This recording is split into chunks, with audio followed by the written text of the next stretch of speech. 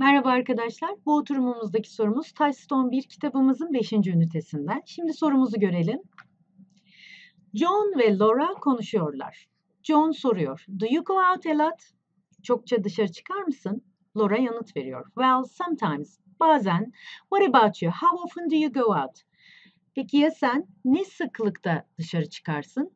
John yanıt veriyor. Not often. Only Şimdi e, sorumuza bakacak olursak aşağıdakilerden hangisi yukarıdaki konuşmayı doğru şekilde tamamlar?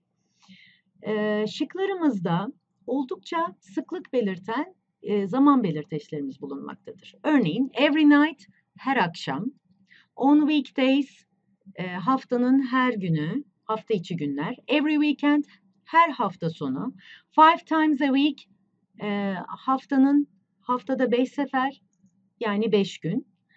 Ee, ancak twice a month burada ayda iki kere anlamına gelmektedir. Şimdi Laura'nın sorusuna geri dönecek olursak, Laura, John'un ne sıklıkta dışarı çıktığını, how often e, soru kalıbıyla sormaktadır. Ve John, not often diyerek çok da sık dışarı çıkmadığını belirtmektedir. Bu durumda şıklarımıza bakacak olursak E şıkkımız sıklık belirtmeyerek ayda iki kere dışarı çıktığını göstermektedir. Doğru yanıtımız E'dir.